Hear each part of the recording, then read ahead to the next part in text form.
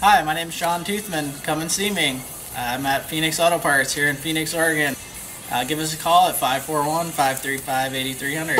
Old lady from Pasadena.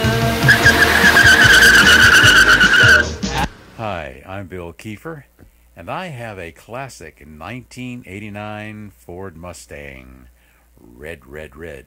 And I only trust Shawn at CarQuest Auto Parts in Phoenix to get my parts. Be there or be square. Before removing the spark plug, disconnect the spark plug high tension lead by grasping the boot where it connects to the plug. Twist it and pull it firmly straight out. If possible, use a small paintbrush to clean away any loose dirt or dust gathered around the base of the plug, which may fall into the cylinder when the plug has been removed. The correct tool to use is a spark plug socket. This usually has a rubber insert to protect the plug while it is being removed. Spark plugs can sometimes be difficult to remove, so you may need to extend the wrench handle for additional leverage. Turn the plug counterclockwise to loosen it, and then turn the socket by hand until you can remove it. Remove the spark plug from the socket and clean it, brushing away any light deposits with a wire brush. Check the condition of the plug.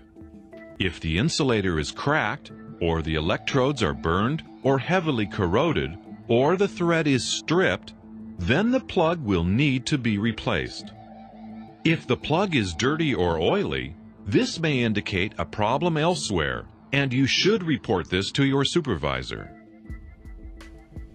Check the plug specifications for the correct gap and measure this with a wire gauge of the correct diameter.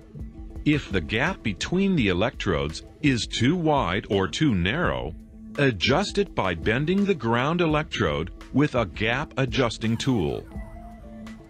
There are hundreds of different spark plugs, so make sure that any replacement you install has the correct code number for the type of vehicle you are servicing. Replace the spark plug in its seat, carefully screwing it in by hand to avoid stripping the thread. When the plug is finger tight, use a torque wrench to tighten the plug to the correct specification. Do not over tighten, as this can damage the plug.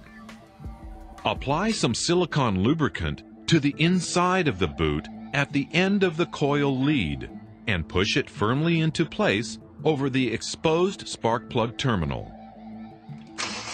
Start the engine to confirm that the plugs and leads are functioning correctly and that the engine is not misfiring. Hi, I'm Bill Kiefer, Bill Kiefer Video Productions for Southern Oregon. If you have a need, we start at just $300. Until next time, give me a call at 541 973 0906. Life's a foolish game. Do you ever feel the same?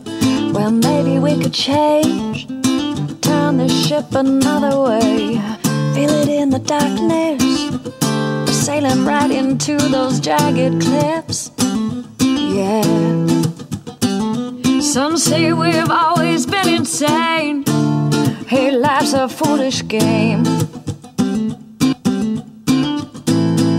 Life's a foolish game.